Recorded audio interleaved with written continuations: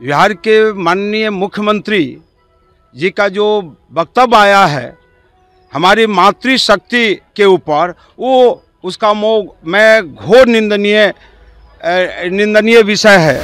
इसका, इसके समर्थन में जो डिप्टी सीएम साहब तेजस्वी जी जो आए हैं, यह भी आश्चर्यजनक बात ऐसी, इसलिए ऐसी स्थिति में हमारे मुख्यमंत्री को और उप मुख्यमंत्री को इस्तीफा दे देना चाहिए। इन लोगों को बिहार विधानसभा के ग्राउंड में आने का हक नहीं है। पनोरमा ग्रुप जो सोचता है वो करता है। कल नीतीश कुमार की भाषा थी कैसे इसको देख रहे हैं? देखिए भारत और भारत का बिहार राज्य लोकतंत्र का जननी रहा।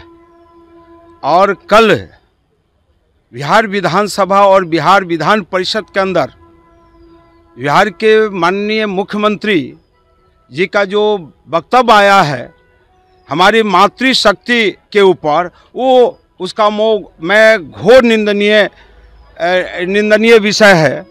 और इसका, इसके समर्थन में जो डिप्टी सीएम साहब तेजस्वी जी जो आए हैं, यह भी आश्चर्यजनक बात।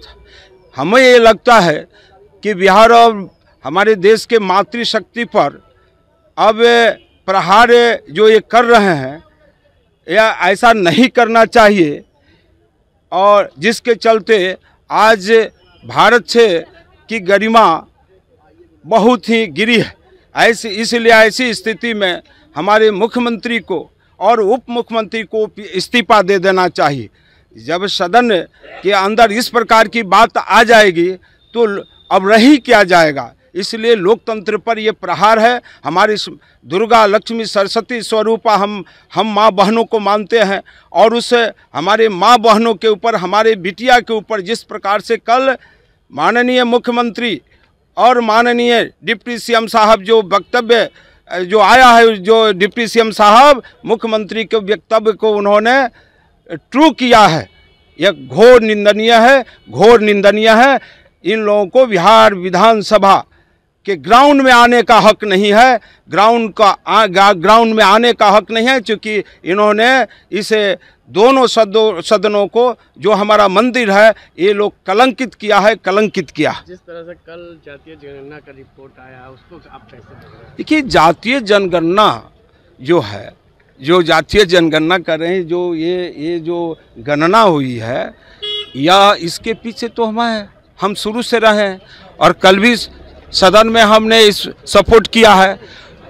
एक कहावत है कि हरबरी के विया कनपट्टी पसंदो। वही किया है लोगों ने। इन लोगों को ऐसा करना चाहिए कि जैसे कल हमारे नेताओं ने सदन के अंदर वक्तव्य दिया है कि पंचायत और शहर के अंदर जो वार्ड होते हैं अगर वहाँ तक के ले जाते तो आसानी से सब लोग जान जाते कि कहीं मेरा तो छूटा ही तो नहीं है। ऐसी स्थिति में इनको ऐसा करना चाहिए और जनहित में अच्छा नहीं किया है। जैसे इसके पहले कुछ सर्वे हुआ था, उसमें बीपीएल में नाम छूट गया और हमारे गरीब गुरबा लोगों को बहुत ही कष्ट हुआ। उनको उनको इसका लाभ नहीं मिल पाया। उसी तरह से छूटे हुए लोगों को लाभ नहीं मिल पाएगा। पनोरमा ग्रुप, जो सोचता है वो करता है। अगर ये वीडियो पसंद आई और वह बिहार के राजनीति और बिहारियत से सरोकार रखेनी तो सब्सक्राइब बटन दबा के चैनल के सब्सक्राइब कर ली। ओजे एगो घंटी बा। ओकरा बटन दबा देला से कुल सटीक और मारक खबर रुआ मुफ़्त में मिल जाई। अगर रुआ पत्रकारिता के हमनी के नया प्रयोग में सहयोग कर चाहतानी तो ज्वाइन बटन दबा दी। पेटीएम नंबर नोट कर ली nine three eight six eight one six seven double zero. धन्यवाद।